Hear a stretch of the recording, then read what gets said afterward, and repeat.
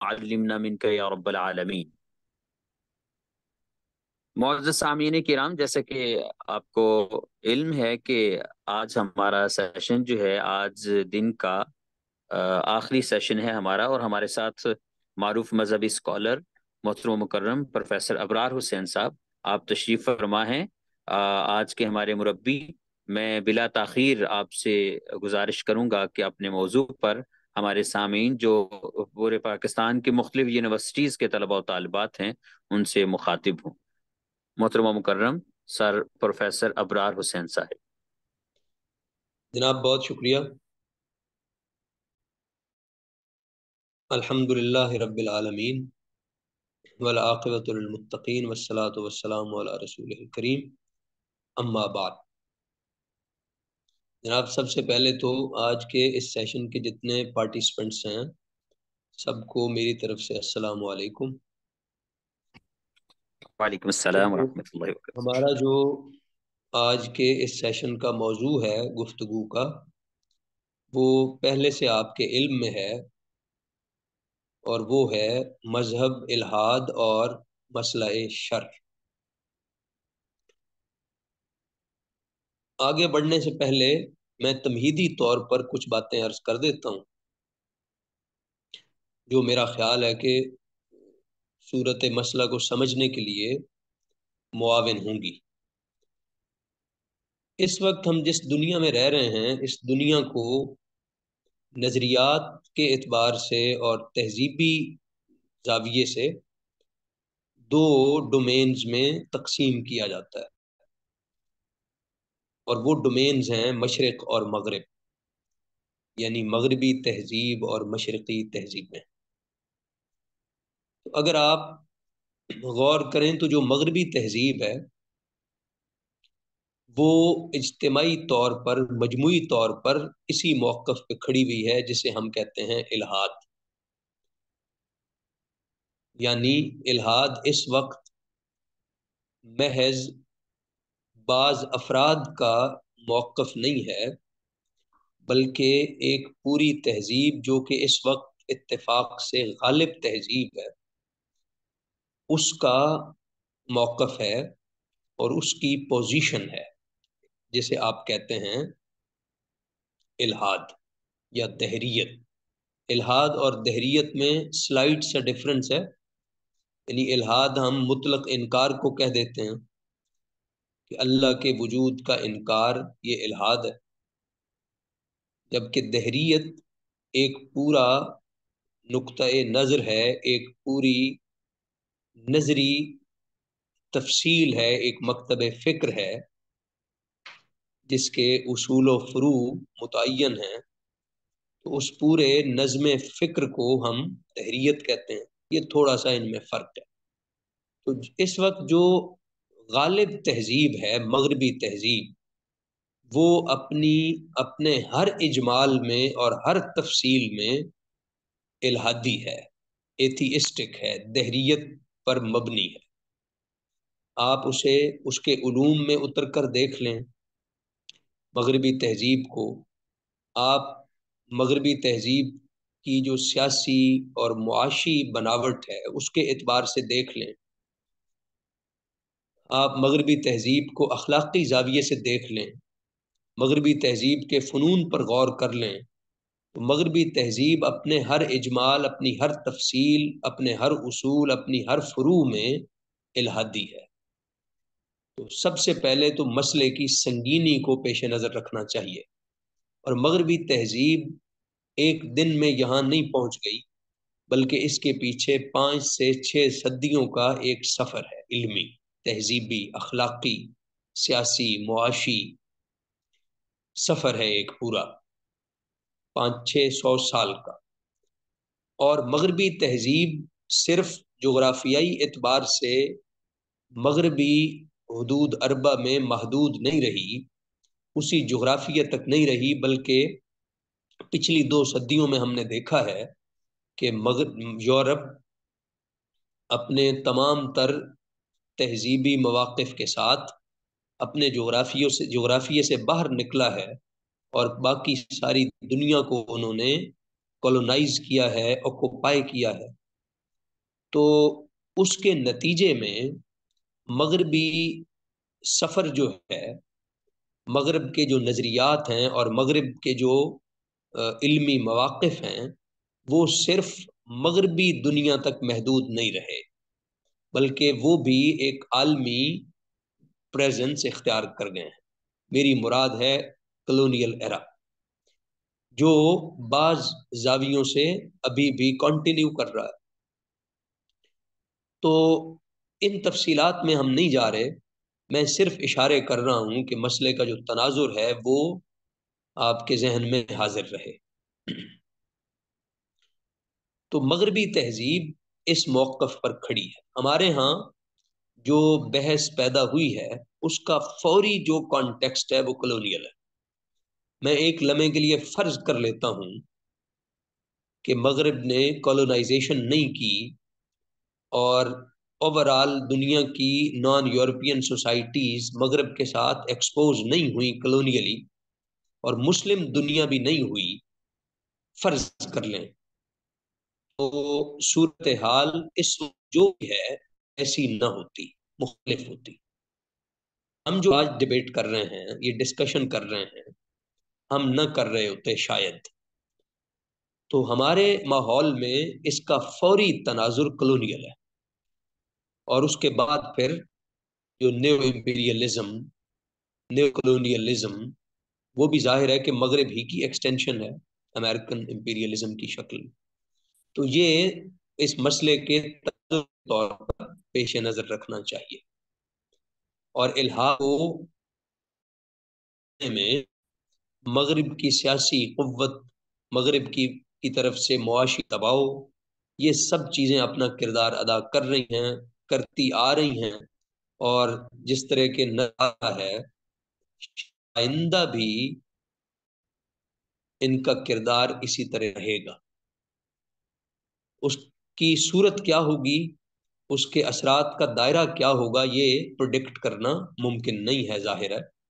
लेकिन बहरहाल तरह कंटिन्यू करेगा। जिन खतूत पर जदीद मगरब की उठान है, उन्हीं खतूत पर मुरब करता रहेगा। अच्छा जदीद मगरब ने जब कलोनियल शक्ल में डोमिनेट किया है। तो हम देख कि दुनिया की जो बाकी तहजीबें हैं, मजाहब हैं, वो के सामने उनके पाँव नहीं होंगे। और तहजीबें, चाहे वो लेटिन अमेरिकन हो, चाहे वो मसलन इंडियन हो, जितनी भी दीगर तहजीबें हैं, मजाहब हैं वो जदीद मगरब के सामने कायम नहीं रह सके। उन्होंने खुद को सरेंडर कर दिया और मगरब के साथ उन्होंने वजूदी सतह पर मुआफ़त इख्तियार कर ली। इसमें एक इस्तना है और वो इस्तना है इस्लाम, इस्लामी तहजीब, मुस्लिम दुनिया। इस्लाम ने रिजिस्ट किया है और ताहाल इस्लाम रिजिस्ट कर रहा है और मुस्लिम दुनिया भी रिजिस्ट कर रही है। और हमें मालूम है कि इस्लाम ही वो मज़हब है जो आज की दुनिया में भी सबसे ज़्यादा तेज़ी से फैल रहा है। यानी इस्लाम ने सिर्फ़ सर्वाइव नहीं किया, सिर्फ़ रेजिस्ट नहीं किया, बल्कि इस्लाम इस के साथ साथ यानी अपनी रेजिस्टेंस साथ, अपने सर्वाइवल को यकीनी बनाते हुए इस्लाम अपने दायरा असर को बढ़ा भी रहा है। और ये जो मैंने बात अभी अर्ज़ की है, ये किसी खुशफहम आदमी की राय नहीं है। इस पर बिल्कुल एकेडमिक डेटा मौजूद है कि इस्लाम के गो करने की और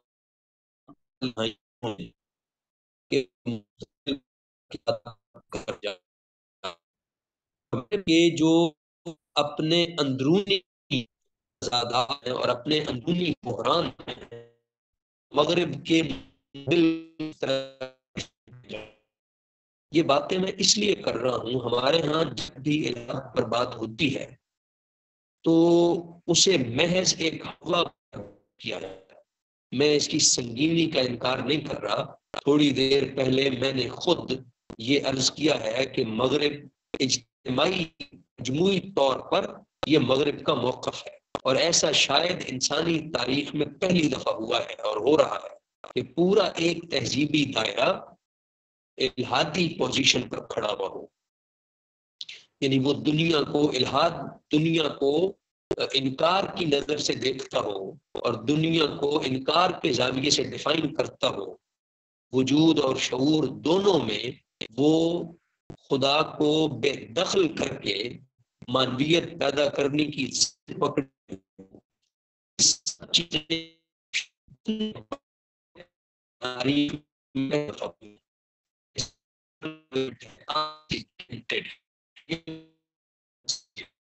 किसी चीज़ की है, उसके कई हैं कई कई तो जो चीज़ अनप्रेसिडेंटेड है, जो चीज़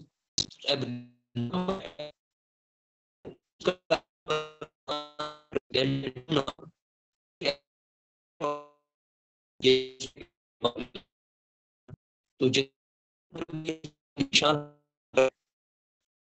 ये खुद अभी थोड़ी देर जो है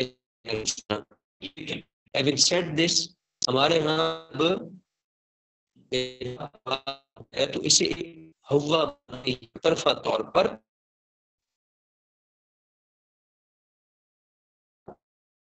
बल्कि ये डायलेक्टिकल कर चुका है।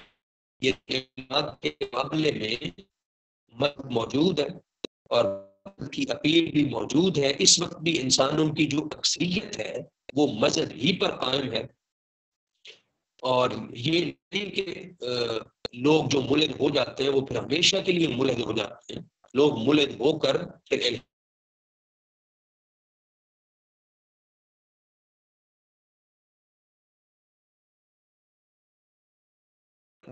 ऐसी बेपनाह कहानियाँ हमारे इल्म में है। इस है, इस पर किताबें हैं कि किस तरह से लोग कम बैक करते हैं। तो ये चीज़ें भी पेश नज़र रखनी चाहिए। ये तमहीदी बातें मैंने अर्ज़ कर दी हैं, मौजू हमारा है मज़हब इलाहाद और मसला शर अच्छा अब इस मरहले में एक बात ये मैं अर्ज़ कर देता हूँ कि इलाहाद की कई अकसाम है। यानी इलाहाद अकली भी होता है, इलाहाद नफसी भी होता है। ये बड़ी अकसाम, ये दो ही आप कर लें कि इलाहाद या तो अकली बुनियाद पर होता है अकली बुनियाद पर इलाहाद पैदा हो तो इसकी जो साख्त है वो इल्मी होगी और इसकी सारी जो एक्टिविटी है, इसके उसूल हैं, वो सब के सब इल्मी होंगे, जहनी होंगे, तजरीदी होंगे। तो ये अकली इलाहाद है।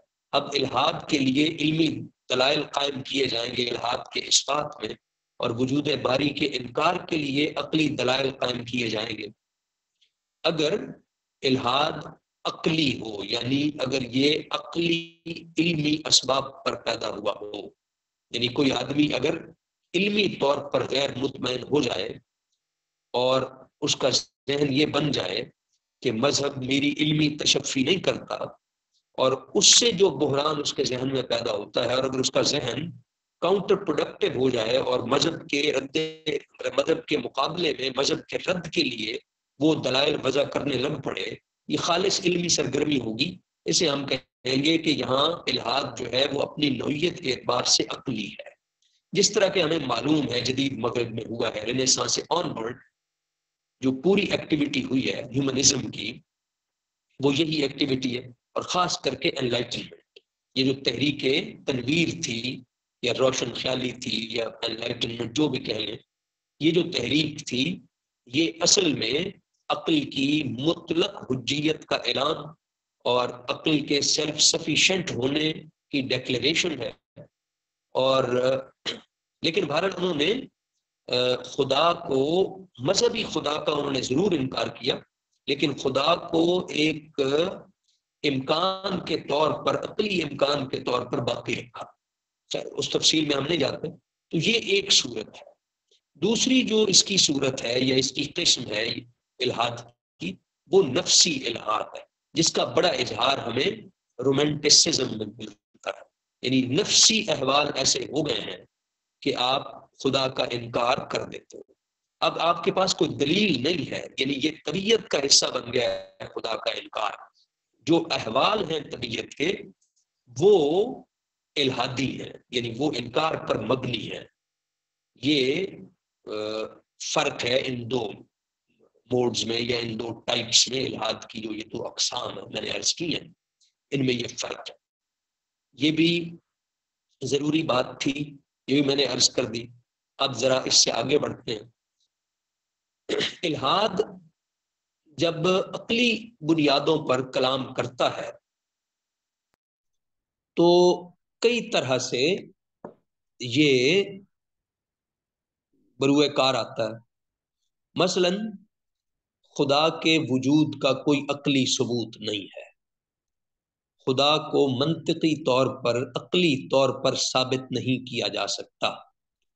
और जब तक खुदा को अकली तौर पर साबित न किया जाए तो खुदा खुदा के वजूद को कबूल नहीं किया जा सकता। यानी खुदा के वजूद को कबूल करना एक गैर अकली रवैया होगा, एक गैर इल्मी रवैया होगा।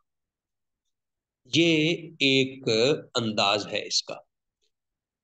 यानी बिल्कुल ऑन्टोलॉजिकली अपिस्टमोलॉजिकली खुदा के वजूद का इनकार कर देना। दूसरी सूरत है ये जो एक्जियोलॉजिकल मोड है इसका। यानी ये भी अकली इल्मी इजतहादी है इल्हादी है यानी ये जो प्रॉब्लम ऑफ़ इवल है। तो इसका, ये भी अंदाज इसका भी इल्मी है कि खुदा नहीं है, खुदा क्यों नहीं है? क्योंकि कायनात में शर का वजूद है, यही हमारा मौजू है। तो मैं सबसे पहले इस प्रॉब्लम ऑफ़ ईवल के बुनियाद पर जो एथीईस्ट्स का आर्गुमेंट है, वो आपके सामने रखता हूँ। फिर इसके डिकंस्ट्रक्ट करने के लिए या इसे रिफ्यूट करने के लिए या प्रॉब्लमेटाइज करने के लिए फिर आगे चलकर बात करते हैं। आर्गुमेंट इनका ये है, और ये जो आर्गुमेंट मैं आपको बताने लगा हूँ, ये आर्गुमेंट ह्यूम का है। क्योंकि ह्यूम मेरा ख्याल है कि पिछले चार पाँच सौ साल में बड़ा मज़बूत आदमी है फलसफे की दुनिया का, और उसने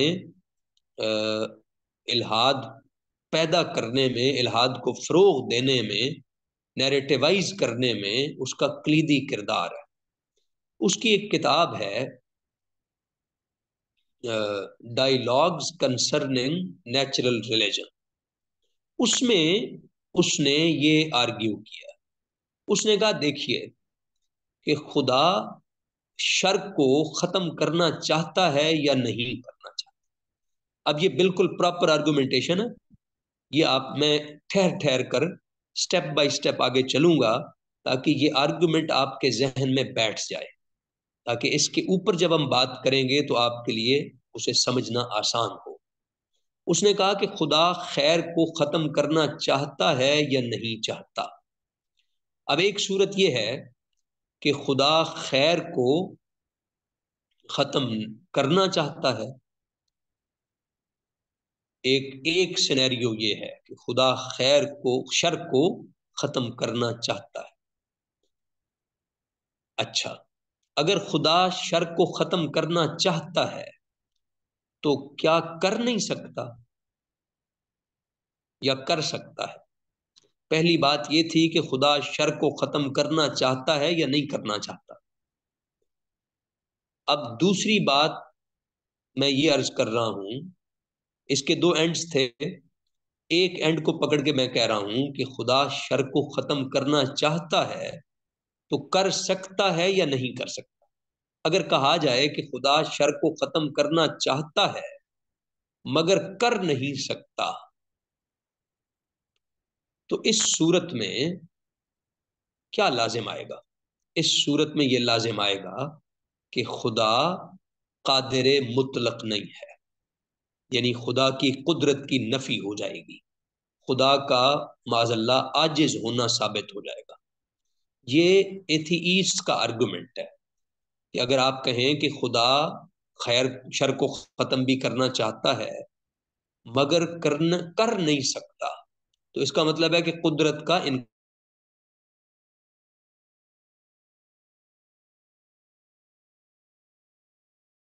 गया तो खुदा कादर मुतलक नहीं रहा नहीं रहा।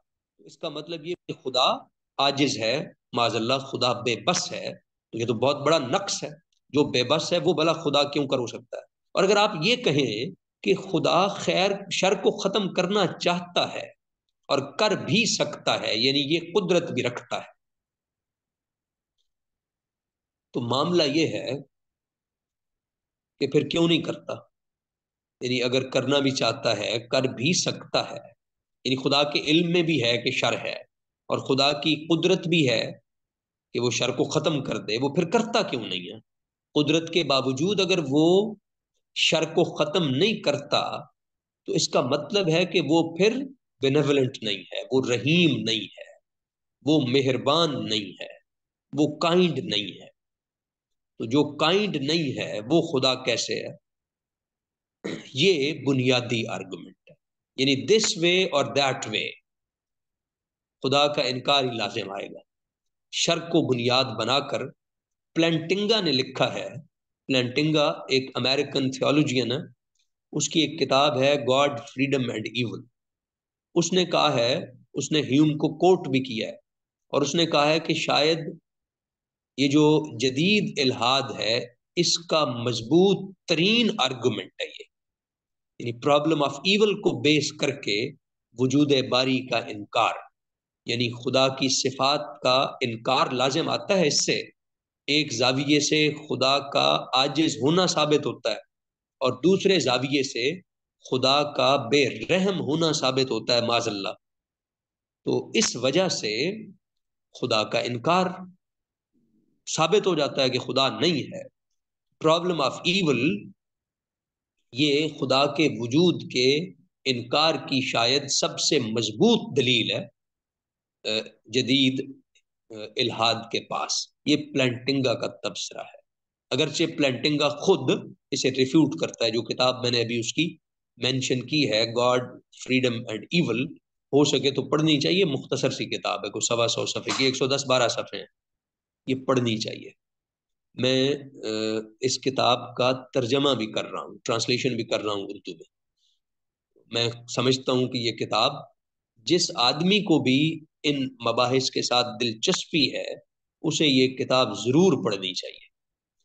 और इस किताब से या प्लेंटिंगा से बेखबर रहना अफोर्ड नहीं किया जा सकता आज। ये ज़रूरी है कि उसे देखा जाए, उसके काम को देखा जाए। तो ये इनका आर्गुमेंटेशन है, जो प्रॉब्लम ऑफ़ ईवल को बेस करके मुलहिदीन ने गढ़ा है। और इसके बुनियाद पर उनका ख्याल है कि वो बहुत कामयाबी के साथ खुदा के वजूद का इनकार कर देते हैं।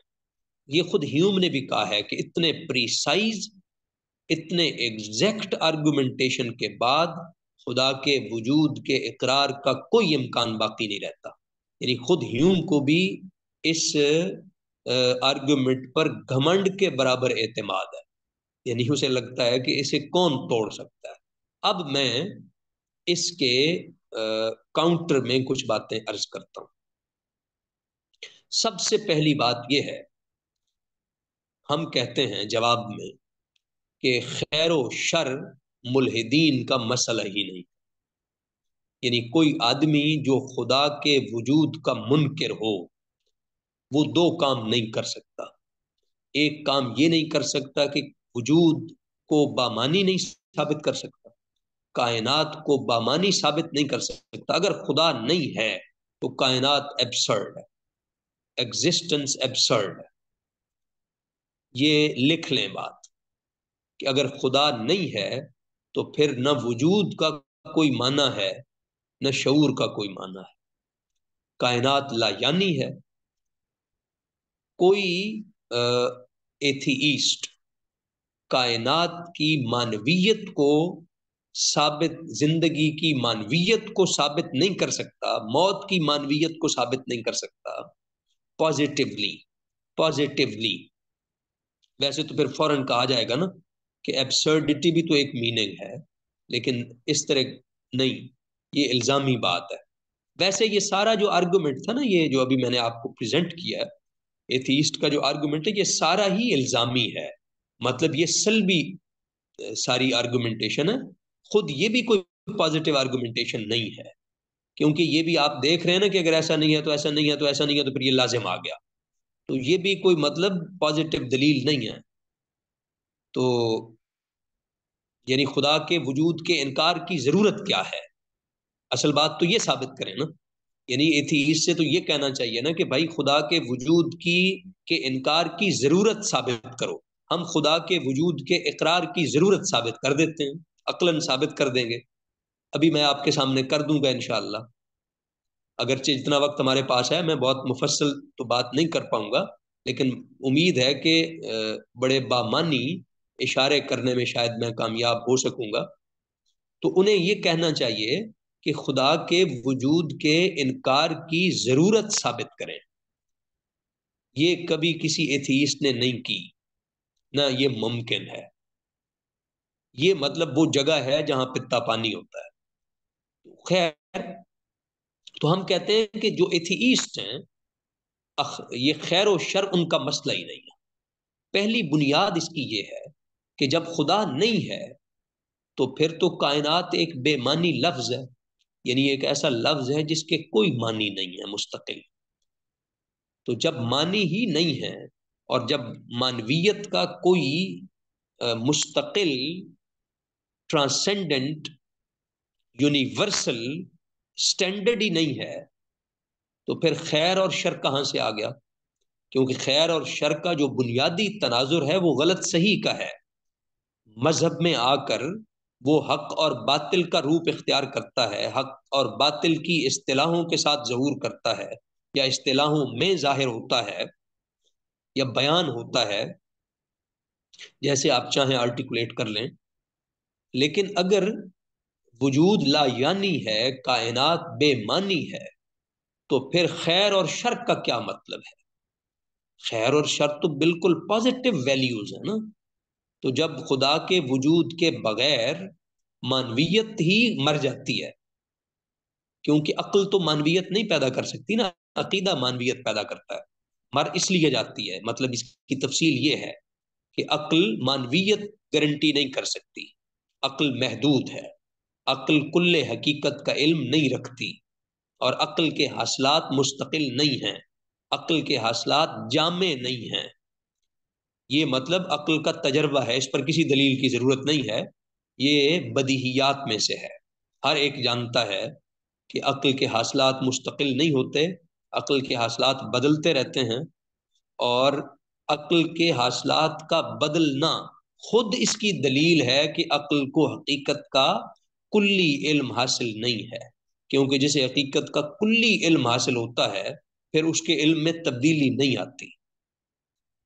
मतलब ये मैंने सादा सी एक दो बातें अर्ज़ कर दी हैं वगरना इस पर और बहुत दलाइल हैं कि अक्ल मानवीयत, हतमी मानवीयत का, की ज़िम्मेदारी उठाने से क्यों कर कासिर है?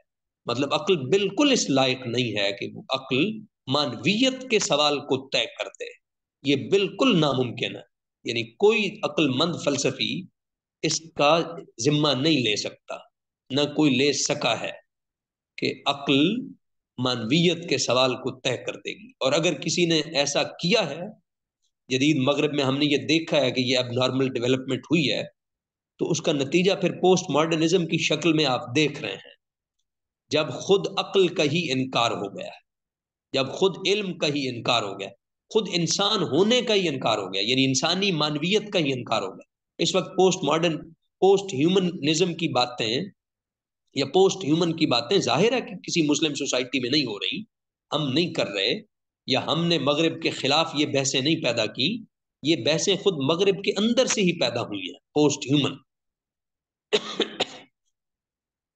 सॉरी तो आ, वो हमने देखा है कि जब आप एक हद से बड़ा हुआ इसरार करते हैं, अक्ल के ऊपर जब ये ज़िम्मेदारी डालते हैं तो फिर बिल आखिर अक्ल खुद सोजी कर लेती है। अक्ल खुदकुशी कर लेती है, जैसा कि पोस्ट मॉडर्न में हम देख चुके हैं कि अब इंसानी शूर एक वीराने से ज़्यादा कुछ नहीं रह गया। अच्छा ये भी ज़ाहिर है कि हम अपनी तरफ़ से नहीं कह रहे। यानी ये हमारी तरफ़ से कोई इल्ज़ाम नहीं है, मगरब की एकेडमिक एक्टिविटी है। मैं तो सिर्फ़ उसका हवाला दे रहा हूँ। तो अक्ल मानवीयत के सवाल को तय करने से कासिर है। तो जब मानवीयत ही नहीं है, खुदा अकीदा को तो अकीदे को तो आपने ठुकरा दिया, खुदा के वजूद का इनकार कर दिया तो अब आखिर मानवीयत का सवाल तो तय करना पड़ेगा ना। क्योंकि इंसान वो वाहिद मखलूक है जो मानी पर इसरार रखती है। और ये भी कोई ऐसी बहुत बड़ी फलसफियाना और गहरी और पेचीदा बात नहीं है। हम दिन में बीसियों दफ़ा कहते हैं, इसका क्या मतलब है? हर चीज़ को देख के कुदरती तौर पर हमारे जहन में सवाल पैदा होता है, ये क्या है? और हम चीज़ों की मानवीयत को जानना चाहते हैं, तय करना चाहते हैं। तो ये बातें ऐसी नहीं है जिन्हें खुर्चा जा सके। इंसानी शूर की तख्ती से स्लेट से जिन्हें साफ़ किया जा सके, अरेज कर दिया जाए, ये ऐसा नहीं है। ये इंसानी शूर की तख्ती पर नक्श हैं ये बातें। यानी मानवीयत का जो मसला है, ये इंसानी शूर की तख्ती पर लिखा हुआ है। खुद मुलहदीन जितनी डिबेट्स करते हैं और जितनी बातें करते हैं, जो कुछ लिखते हैं, अगर मानवीयत का सवाल बेमानी है और इरेलीवेंट है तो उन्हें भी ये सब करने की ज़रूरत नहीं है फिर। तो हम कहते हैं कि मुलहदीन का मसला ही नहीं है खैर शर। माफ़ी जाते तो एक तो ये बात हो गई। तो जब तुम्हारा भाई मसला ये नहीं है मुल, मुलहदीन से हम कहेंगे कि खैर शर तुम्हारा मसला ही नहीं है तो तुम शर को बुनियाद बनाकर खुदा के वजूद का इनकार कैसे करते हो? यानी तुम्हें इससे क्या फ़र्क पड़ता है कि खुदा शर को रोकना चाहता है या नहीं रोकना चाहता, रोक सकता है या नहीं रोक सकता, तुम्हारा तो ये मसला ही नहीं है। अगली बात यह है कि अगर इनके इस आर्गुमेंट को ठीक मान लिया जाए कि ये हंड्रेड परसेंट करेक्ट है तो भी इससे खुदा के वजूद का इनकार लाजिम नहीं आता। यानी अगर खुदा कायनात में शर को नहीं रोकना चाहता। फ़र्ज़ कर लेते हैं। तो इससे ज़्यादा ज़्यादा क्या साबित होगा? कि वो रहीम नहीं है, यही साबित होगा। और अगर हम फ़र्ज़ कर लेते हैं कि खुदा कायनात में शर को रोकने की मुतलक कुदरत नहीं रखता तो इससे क्या साबित होगा कि वो कादर मुतलक नहीं है? यही साबित होगा, यानी सिफात की नफी हो जाएगी। इससे जात की नफी कैसे होगी? ये अपनी जगह सवाल है। तो ये जो आर्गुमेंट है, इसे बुनियाद बनाकर ये समझना कि इससे खुदा के वजूद का इनकार हो गया। ये बिल्कुल कोई लॉजिकल नेसेसिटी नहीं है। इससे खुदा के वजूद का इनकार नहीं होता। सिफात का इनकार होता है। आगे चलें। ये जो जदीद इलाहाद है, मैंने ह्यूम का हवाला भी दिया है और बाकी भी ये जितने बड़े बड़े एथीस्ट हैं, ये सब आपके इल्म में है कि मगरब से ही पैदा हुए हैं, मगरब की मजमू यही पोजीशन है। तो मगरब में जो इलाहादी मबाहिस हैं, यानी उनके पीछे जो मजहबी परसेप्शन काम कर रहा है, ये जो बात मैं अर्ज़ करने लगा ये इलाहाद की बहस में मेरा ख्याल है कि चंद बुनियादी तरीन और अहम तरीन निकात में से है कि जिस मजहबी परसेप्शन के साथ जदीद इलाहाद ने अपने इतराज़ात गढ़े हैं, वो मजहबी परसेप्शन क्रिश्चियनिटी का है। यानी वो जो एप्रिसिएशन है खुदा के बारे में, खुदा के बारे में अकीदा है, वो भी ईसवी अकीदा है। और उसमें फ्लॉज हैं। ये बात मुझे रियलाइज़ हुई है। पहले भी रियलाइज़ मैंने की थी ये बात। यानी मेरे ऐसा इदराक में ये बात पहले भी थी। प्लेंटिंगा को ट्रांसलेट करते हुए ये बात मैंने ज़्यादा शिद्दत से रियलाइज़ की है कि जो रिलीजियस परसेप्शन काम कर रहा है, जदीद मुलहदीन की ये सारी एथिस्टिक कंस्ट्रक्शन के पीछे, यानी वो मज़हब का मुकदमा जो फ़र्ज़ करके चल रहे हैं कि मज़हब चूँकि ये है तो इसे इस तरीके से रद्द कर किया जा सकता है। वो सारा क्रिश्चियन है क्रिश्चियन थियोलॉजी है, उसके अपने प्रॉब्लम्स हैं। हमारे वो मसाइल नहीं है। मसलन हम, ज़ाहिर है कि हम ट्रिनिटी के कायल नहीं हैं, ज़ाहिर है कि हम क्रूसिफिक्शन के कायल नहीं हैं, ज़ाहिर है कि हम रिडेम्पशन के कायल नहीं हैं। मतलब हम हम फ़र्स्ट सिन के, उस तरह से कायल नहीं हैं कि ये फ़र्स्ट सिन जो है, ये स्टैंप हो गया है अब सारी नस्ल इंसानी पर, हम इसके कायल नहीं हैं। तो क्रिश्चियन थियोलॉजी के अपने मसाइल हैं, जिसके और मगरब की सारी डेवलपमेंट को इस कॉन्टेक्स्ट में देखना चाहिए, शायद हम बेहतर नतज पर पहुँच सकें कि मगरब की सारी जो डेवलपमेंट है, नजरी, इल्मी, फलसफियाना, अखलाकी, सियासी, ये इस सब का जो इमीडिएट कॉन्टेक्स्ट है, वो क्रिश्चियनिटी का एक हज़ार साल है मिडीवल क्रिश्चियनिटी का। और उसकी थियोलॉजिकल डिबेट्स हैं, उसकी इंटेलेक्चुअल डिबेट्स हैं। ज़ाहिर है कि मगरब, जदीद मगरब कोई इस मुस्लिम कॉन्टेक्स्ट में नहीं पैदा हुआ। ये क्रिश्चियन कॉन्टेक्स्ट में पैदा हुआ है। तो इसे हम डिफाइन करेंगे या ये खुद को डिफाइन करता आ रहा है उसी क्रिश्चियन कॉन्टेक्स्ट के अगेंस्ट ये खुद को डिफाइन करता आ रहा है। और ये हमें पेश नज़र रखना चाहिए। तो ये जो परसेप्शन है खुदा के बारे में और जिस परसेप्शन से ह्यूम वगैरह ने ये प्रॉब्लम ऑफ़ ईवल का आर्गुमेंट फॉर्म किया है। हमारे नज़दीक खुदा का ये अकीदा, खुदा के बारे में ये तस्वुरी वैलिड नहीं यानी हम खुदा को जिस तरह रहीम मानते हैं, जिस तरह खुदा को हम रहमान मानते हैं, जिस तरह हम उसे करीम मानते हैं, बिल्कुल इसी तरह हम उसे कहार भी मानते हैं, हम उसे जब्बार भी मानते हैं। गजब की उस, गजब भी उसकी सिफ्त है। इसी तरह से जलाल भी उसकी सिफत है। तो सिफात का जो मसला है, वो हमारे यहाँ और तरह का है। और क्रिश्चियन थियोलॉजी में वो बिल्कुल और तरीके से आया है। ये मैं पॉइंट आउट ही कर सकता हूँ, तफसील में मैं नहीं जा सकता इस वक्त, क्योंकि बातें ज़्यादा हैं और वक्त हमारे पास ज़ाहिर है कम है। तो अब मैंने क्लू दे दिया है पॉइंट आउट मैंने कर दिया है। अब इस पर आप पढ़ भी सकते हैं, इस पर मजीद आप अब चीज़ें देख सकते हैं और आगे गौर फ़िक्र कर सकते हैं नतज निकाल सकते हैं। तो तीसरी हम ये बात कहते हैं कि जो एथिस्टिक आर्गुमेंट है, ये जो प्रॉब्लम ऑफ़ ईबल पे बेस्ड है, ये सारा क्रिश्चियन थियोलॉजिकल परसेप्शन के साथ फॉर्म हुआ है। तो इस वजह से भी ये फ्लॉड है। यानी यहाँ खुदा के बारे में जो तस्वुर कायम किया गया, वो तस्वुर ही गलत है। तो जिस तस्वुर को कायम करके उसके रिएक्शन में या उसके रिस्पांस में एक दलील कायम की गई है, वो दलील भी गलत होगी, क्योंकि इनमें कोई मुनासबत नहीं रहेगी ना। हम कहते हैं खुदा के बारे में हमारा ये तस्वुर नहीं है। हम खुदा के बारे में ज़्यादा जामियत वाला तस्वुर रखते हैं। इससे आगे बढ़े। अब हम आज, ये तो तस्वुर इंसान की बात तस्वुर खुदा के हवाले से मैंने बात कही। या इनका जो अपना पोजीशन है, उसके बारे में मैंने कह दिया कि खैर वशर इनका मसला ही नहीं।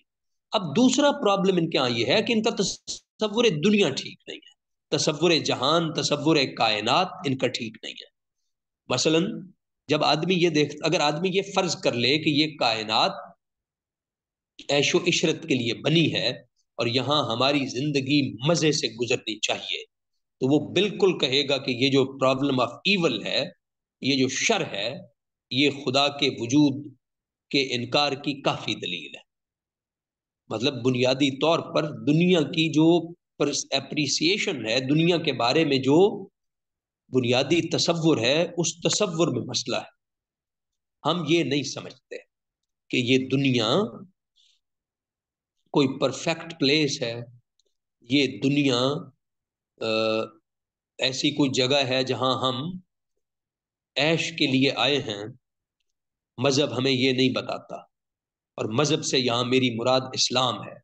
जहाँ तक मैं पढ़ सका हूँ, इस मसले पर इस्लाम ने बहुत शफाफियत से कलाम किया है। और बहुत वजाहत से। अभी मैं कुछ बातें आपके सामने रखूँगा। तो हम कहते हैं कि ये जो शर है, आप शर को एब्सल्यूटली नहीं देख सकते। शर अप, यानी बाय इट सेल्फ आप इस पर बात करके नतज नहीं निकाल सकते। बल्कि शर को खुद आपको इसे रिलेट करना पड़ेगा कि ये जो शर है, ये क्यों है? और शर के होने का क्या मतलब है? ये पहले तय करें। यानी एक चीज़ को पहले डिफाइन करें, फिर उसकी बुनियाद पर इतराज उठाएँ। यानी आपने बहुत सादगी के साथ यानी सिंपलिस्टिकली आपने कहा कि कायनात में शर मौजूद है तो उसके बाद फिर this this this this this और ये नतीजा निकल आया इससे साबित होता है खुदा का वजूद नहीं है। हम कहते हैं ये इतना सिंपल नहीं है। कायनात में शर है और शर हकीकी है। ये बात भी जहन में बिठाएँ। शर हकीकी है। हम मुतसवाना बहसों में भले ये कहते रहे कि शर एतबारी है, नहीं। शर हकीकी है हाँ शर मुतलक नहीं है, इतबार को अगर हम इजाफी के मानों में ले लें तो फिर ठीक है। यानी शर एतबारी है, यानी शर इजाफी है, बिल्कुल दुरुस्त। और शर हकीकी है, शर है, ये दुरुस्त बात है। तो शर अखलाकी भी है, शर नेचुरल भी है, नेचुरल ईवल्स इस तरह मसलन जलजले आते हैं, यानी आफात वगैरह क्लैमिटीज जिस तरह बीमारियाँ होती हैं, मौत होती है, जिस तरह माजूरियाँ होती हैं, जिस तरह और कहत वगैरह पढ़ते हैं, ये सब नेचुरल इवल की शक्लें हैं, ये ये फितरी, शर की सारी शक्लें हैं। और शर मॉरल भी होता है, यानी मॉरल इवल भी होता है। वो शर भी है जो इंसानों ने पैदा किया है, जो इंसानों के अमल के नतीजे में पैदा होता है। तो ये भी इस शर की भी कई सूरतें हैं, कई शक्लें हैं, इसके भी कई मैनिफेस्टेशन तो ये शर हकीकी है। हम कहते हैं कि ये शर हकीकी ज़रूर है, लेकिन ये शर मुतलक नहीं। है मामला असल में ये है पर्सपेक्टिव इसको समझने का ये है कि ये जो दुनिया है, ये अगर आप इसे हेडोनिस्टिकली अप्रोच करेंगे तो आप इसी नतीजे पर पहुँचेंगे। हम कहते हैं आप अगर मज़हब पर एतराज़ कर रहे हैं, अकीदे पर एतराज़ कर रहे हैं, वजूद बारी का आप इनकार कर रहे हैं तो आप अपने मद्दे मुकाबिल फरीक की बात को पहले ठीक सुने और समझें। खुद मज़हब क्या कहता है? खुद मज़हब ये कहता है कि ये जो दुनिया है, ये इब्तला के लिए बनाई गई है। कुरान शरीफ की मैं कुछ आयतें तेज़ी से पढ़ देता हूँ ताकि हमें अंदाज़ा हो जाए कि ये मसला कुरान शरीफ में कितनी वजाहत से आया है। यहाँ मज़हब के दिफा के लिए मैं इस्लाम का नाम ले रहा हूँ उसका सबब यही है कि इस्लाम में ये चीज़ें बहुत ज़्यादा क्लैरिटी के साथ बयान हुई हैं। और मैं किसी मज़हब में इस तरह इन चीज़ों को, उनके बुनियादी मतून में इस तरह नहीं मतलब तलाश कर सका। अगरचे मैंने अपनी बिसात पर मुख्तलिफ़ मज़हबों के बुनियादी टेक्स्ट्स उनके स्क्रिप्चर्स देखने की कोशिश की है। लेकिन मुझे इतनी शफाफियत के साथ चीज़ें वहाँ नहीं मिल सकी। कुरान शरीफ ने कहा, अगर आप कायनात की तख्लीक की बात करें तो कुरान ने कहा, वह वल्लदी खलक समावात वल अर्द फ़ी सित्तत अय्यामिन वकान अरशुहु अलल मा। ले यबलुवकुम अय्युकुम अहसन अमला। अल्लाह वो है जिसने ज़मीन व आसमान को खल किया छह दिनों में। उसका अर्श पानी पर था। और उसने ये सब क्यों किया? ले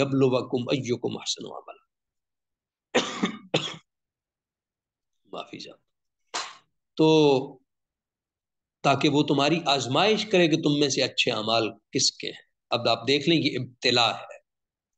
ये इब्तला के लिए ज़मीन व आसमान बने हैं। आगे चलें। उबल्लदी अल्लजी खलकल मऊत वल हयात लयबलुकुम हसन ज़िंदगी और मौत उसने खल किया है। ज़िंदगी और मौत को खल किया है ताकि वो तुम्हारी आजमाइश करे कि तुम में से अच्छे अमाल कौन फिर एक आयत है, इन्ना खलकनल इंसान मिन नुतफतिन अमशाजिन हमने इंसान को एक मिले जुले नुतफे से पैदा किया है ताकि हम इसकी आजमाइश करें, इसे मुबतला करें। यहाँ भी इब्तला है। यानी ये ज़मीन व आसमान, ये ज़िंदगी, ये मौत, ये इंसान, ये सब बने ही इसलिए हैं, ये इनके खल्क होने की रमज बताई जा रही सिर्फ़ इंसान नहीं, मुतलक ज़िंदगी और मौत, मुतलक तीनों आत्मा सारी आ गई इसमें। कुछ पैदा हुआ है ताकि तुम्हारी आजमाइश करें। फिर अगर आप एक और एंगल से देखें तो कुरान शरीफ में है, बलौनाहम बिल हसनात वसैयात हम नेकियों और बुराइयों के साथ भी इनकी आजमाइश करते हैं। एक आदमी ने नेकी की तो ये खुद मुबतला हुआ। एक आदमी ने बदी की तो ये भी मुबतला हुआ। फिर कुरान कहता है, नबलूकुम बिशर वल खैर फितनत। हम खैर शर से भी तुम्हारी आजमाइश करते फिर कुरान शरीफ कहता है, वलो शाह अल्लाह लजा कुम उम्मतम वाहिद अल्लाह चाहता तो तुम एक ही उम्मत बना देता। वला किल यबलुवकुम फीमा आताकुम। लेकिन वो तुम्हारी आजमाइश करेगा, उसने तुम्हें दिया है। तो मतलब है कि ये जो मुख्तलिफ़ मजाहब हैं, इतनी मिल्लतें हैं, खुद ये भी इब्तला है। इसी तरीके से कुरान शरीफ में है बहुवल्लजी जालकुम खला फल अर्द फौकबात दरजात। ले यबलुवकुम अय्युकुम अहसन अमला। कि तुम्हें ज़मीन में को बाज पर दर्जे दिए हैं। ये भी इसलिए किया है कि हम तुम्हें आजमाएँ, फीमा लियबलुवकुम फीमा आताकुम। जो कुछ हमने तुम्हें दिया है, उसमें से तुम्हें तो उसमें तुम्हें आजमाएँ उसके ज़रिए। फिर कुरान कहता है कि लोगों ने ये गुमान कर रखा है कि उन्होंने अल्लाह अल्लाह पर वो ईमान ले आए हैं। उन्होंने ये कह दिया है, आमन्ना तो बस उन्हें छोड़ दिया जाएगा। वह ला युफ्तनून, और उनकी आजमाइश नहीं की जाएगी। इसी तरह कुरान कहता है, अन्नमा अमवालुकुम व औलादुकुम फितना। मालो औलाद इब्तला है यहाँ फितना बमाना इब्तला, आजमाइश। तो ये आजमाइश का माहौल है। यहाँ खड़े होकर देखें तो खैर, शर किसी चीज़ का होना, ना होना, महकूमी हकमियत, ज़िंदगी, मौत, ये सब चीज़ें इब्तला की एंगल देखें तो उनकी मान जाती। है इनमें से कोई चीज़ भी एब्सोल्यूट नहीं रहती।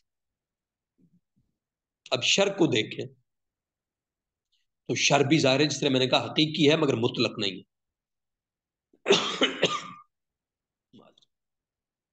मुतलक नहीं है, हकीकी है। तो मेरे लिए जो चीज़ शर है, हो सकता है आपके लिए खैर हो। हो सकता है मेरे लिए जो चीज़ शर है, वो तकवीनी खैर हो फिर मूसा के वाक़े में है, शरीफ में। तकवी सतह भी है ना एक चीज़ की। तो ये इनका मतलब जो जहान के बारे में, इस कायनात के बारे में, इस दुनिया ज़िंदगी और मौत के बारे में इनका व्यू है एथीस्ट का, हम समझते हैं कि ये व्यू ही गलत है। यानी ये खुद साख्ता है इनका, जो इन्होंने खुद बना लिया और मज़हब के ऊपर इसे इम्पोज कर दिया है। और फिर मज़हब से कहा कि तुम अब हमारी शराय पर इन कंडीशंस के साथ हमारी मर्ज़ी का जवाब दो। तो ज़ाहिर है कि ये धौस धांधली है। ये कोई इल्मी डिस्कोर्स नहीं है। आप अपने मद्दे मुकाबिल की बात सुने बगैर, उस पर थोप नहीं सकते, उस पर आप धौस धांधली के साथ इम्पोज नहीं कर सकते कि आपकी मर्ज़ी का जवाब आप उगलवा सकें। ज़ाहिर है कि ये इसकी वक़्त नहीं है, इसकी कोई इल्मी हैसियत नहीं। तो कानून इब्तला के जाविये से मैं इसे कानून इब्तला कहता हूँ। ये कानून इब्तला बहुत बुनियादी चीज़ है। मज़हब का सारा मुकदमा इस पर खड़ा हुआ है, कानून इब्तला पर। आप गौर करें तो इंसानों के दरमियान जितने मसाइल हैं, ये सब सेटल हो जाते अच्छा फिर ये जो शर है, ये इब्तला है या फितना है, ये कई वजहों से होता है। मतलब एक तो ये बिसात बर लाकुल्लासा दूसरा फिर हर आदमी के लिए इसकी मानवीयत अलग है। यानी आप गौर कर रहे हैं कि एथीस्ट का जो खुद व्यू ऑफ़ ईवल है, वो बहुत रिडक्शनिस्टिक है। हम कहते हैं इसके शेड्स हैं, इसके लेवल्स हैं और इसके रिलेशनल वैल्यूज़ हैं। तो ये इस, इसमें बहुत तफसील है। वो सारी सामने रखनी पड़ेगी। तो शर में कोई आदमी मुबतला होता है मुसीबत में, वो अपने गुनाह की वजह से होता है। कभी वो इसलिए होता है खुदा को उससे मोहब्बत है। खुदा उसकी भलाई चाहता है। जिस तरह हदीस में आता है, बुखारी की हदीस है, बल्कि मुस्लिम की भी है मुतफ़ हदीस मैं युरदिल्ला भी खैरन युसिब मिन। जिस आदमी के साथ अल्लाह भलाई का इदारा, इरादा करे, उसे मुसीबत में डाल देता है। अब इसे क्या कहेंगे? तिरमजी की एक हदीस है कि रसूल से पूछा गया अयुन्ना से अशद बलान? इंसानों में सबसे ज़्यादा इब्तला में कौन होते हैं? सबसे शदीद इब्तलाएँ किन आती, किन पर आती हैं? तो उसने अल अम्बिया सबसे ज़्यादा शदीद इब्तला अम्बिया की होती है। सुमलमसल फलमसल फिर इसकी मिसल आगे इसी तरह, दर्जावार। फिर हाकिम की हदीस है मुसदरिक की, कि रसूल ने पहले फरमाया अल अम्बिया फिर सवाल हुआ सुम मन, फिर कौन? तो रसूल ने फरमाया अल उलमा फिर सवाल हुआ सुम मन, फिर रसूल ने फरमाया असुलहा तो फिर ये भी हदीस है कि आदमी अपने दीन के हिसाब से आजमाइश में डाला जाता है। ये भी हदीस है। फिर ये भी है कि इंसान अपने सयात की वजह से आजमाइश का शिकार हो जाता है, अपने गुनाहों की वजह से। तो ये कई जाविये हैं मतलब शर की कोई एब्सल्यूट वैल्यू नहीं है जो एथीस ने फ़र्ज़ की है। हम कहते हैं कि उनका ये जो फर्जिया है ये गलत है। तो ये बुनियादी मैंने कुछ बातें अर्ज़ की हैं कि एथीस्ट के इस इस आ, ये जो प्रॉब्लम ऑफ़ का आर्ग्यूमेंट है ये नेसेसरली खुदा के वजूद को निगेट नहीं करता। अब वो गुफ्तगु के अख्ताम की तरफ़ बढ़ते हुए मैं चंद बातें मुख्तसरन अर्ज़ कर देता हूँ कि खुदा के वजूद पर अकली दलाइल, चाहे वो रद्द में हो, चाहे इस बात में हो, उन दोनों को रद्द किया जा सकता है। यानी खुदा के वजूद के इकरार पर दलाइल दें तो उनका भी इनकार, उनका भी रद्द किया जा सकता है। सिर्फ़ इनकार नहीं, रद्द किया जा सकता है। और खुदा के इनका वजूद के इनकार पर दलाइल दें तो खुद उन्हें भी रद्द किया जा सकता है। इसका एक सबब है। इसे शावलील्ला ने शावलील्ला की एक किताब है, उस किताब का उन्मान है अलफौजुल कबीर। ये उसूल तफसीर की किताब है। उसके बिल्कुल आगाज़ में शावलील्ला मुशरकिन पर रद्द लिख रहे हैं, रिफ्यूट कर रहे हैं मुशरकिन को, और उसमें उन्होंने एक जगह पर यह बहस की है कि मुशरकिन ने, यानी कुरान ने मुआवजा किया मुशरकिन के साथ तो कुरान उनके साथ एंगेज हुआ है, उनके दलाइल को नकल किया है, उनके दलाइल को रद्द किया है रिफ्यूट किया है उन्हें। तो मुशरकिन बार बार मुतालबा करते हैं मुआजा मुआजा मुशरकिन कहते हैं कि फरिश्ते नबी बनाकर भेजे जाएँ। मुशरकिन कहते हैं, खुदा हमारे सामने ज़ाहिर हो जाए। मुशरकिन कहते हैं कि, हम में से हर एक पर वही आ जाए। तो ऐसा कुछ नहीं हुआ। शावरील्ला यहाँ कहते हैं कि ये मसलहत के खिलाफ। तो ये मसलहत के खिलाफ है ये बात कि अगर अक्ल एक तरफ़ लग आसानी के साथ और अक्ल को इस पर इत्मीनान हो जाता, यानी खुदा के वजूद के दलाइल इतने वाजे हो जाते कि अक्ल के लिए इनकार मुमकिन न रहता तो ये खुदा की सकीन नहीं है, ये खुदा का मंशा नहीं है। फिर मेरे इकरार, मेरे इनकार की कोई हैसियत नहीं है, फिर इब्तला खत्म हो जाती है। तो ये जो यहाँ इब्तला है, ये उसके उस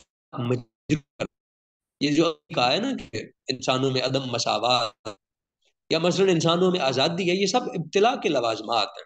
या मसलन इंसानों में अक्ल है तो खुदा वजूद के सबूत का बिल्कुल ना होना और इसमें एक इख्फा का रहना कि जो चाहें इनकार करें, जो चाहें इकरार करें दलील के साथ और फिर एक दिन उसकी, उसके लिए उन्हें जिम्मेदार ठहराया जाएगा।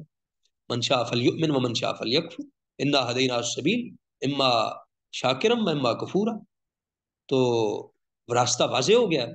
अब जो चाहे, इनकार करे, जो चाहे, कबूल कर ले। अच्छा फिर इसी तरीके से कि जो इब्तला की फजा है, इसका एक लाजमा है मोहलत। मोहलत भी खुदा देता है।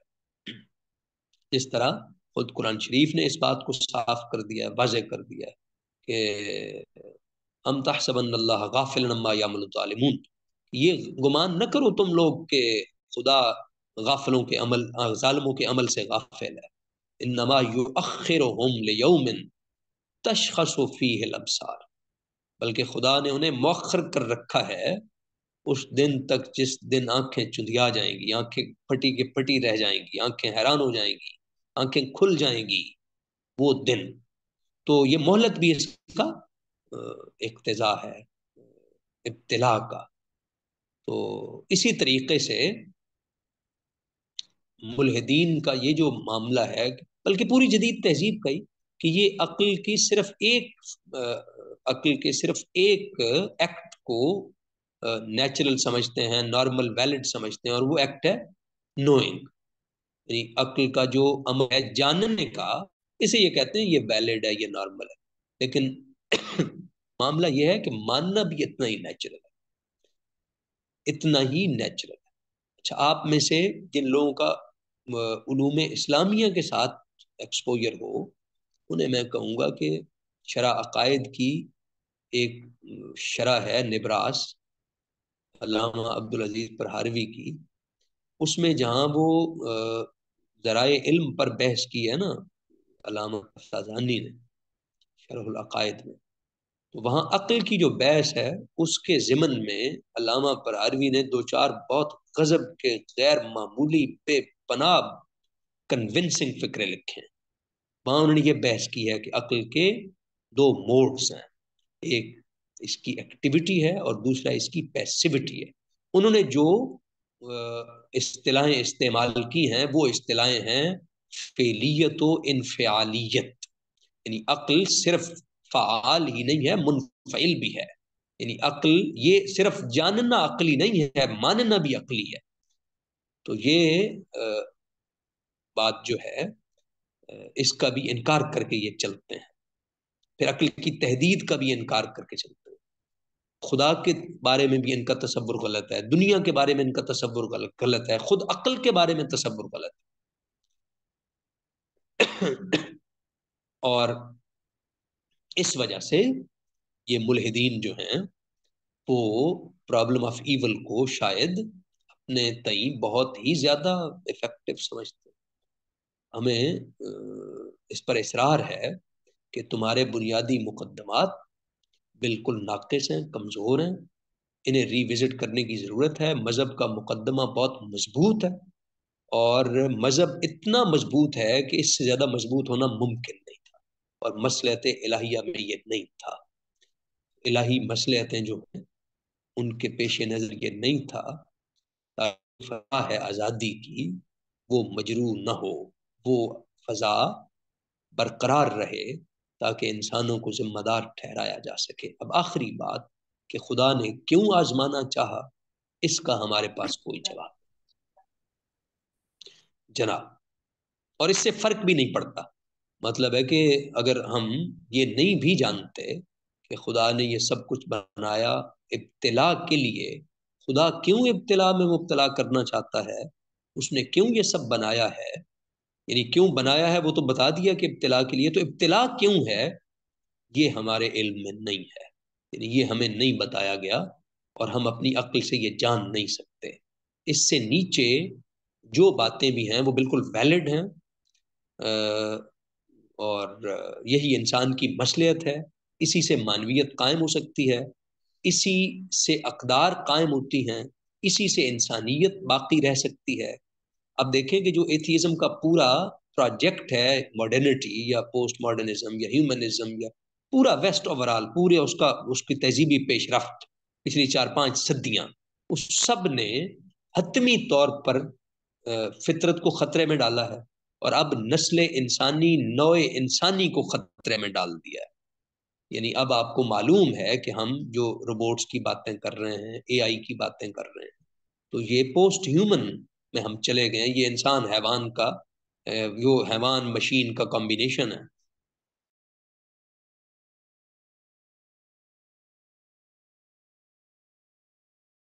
और तुलू हो रही है।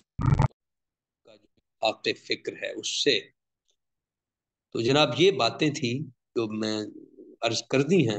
अब आप लोगों की तरफ़ से कोई बात हो तो फरमाइए। वमा बला जनाब। जजाकला खैर डॉक्टर साहब बहुत बहुत शुक्रिया प्रोफेसर साहब। अल्लाह जलाल आपकी इन कलिमात को कबूल फरमाए और हाँ। आपने बहुत फ्रूटफुल गुफ्तु की है। जी अब हम लोग सेशन सवाल का आपके लिए ओपन करते हैं। आप में से कोई पार्टिसिपेंट कुछ सवाल करना चाहे तो आ, वैसे तो हमारा टाइम नौ से ऊपर हो गया लेकिन फिर भी आप में से कोई अगर सवाल करना चाह रहा है तो प्रोफेसर अबरार साहब मौजूद है। जी आप हैंड रेज कर लीजिए।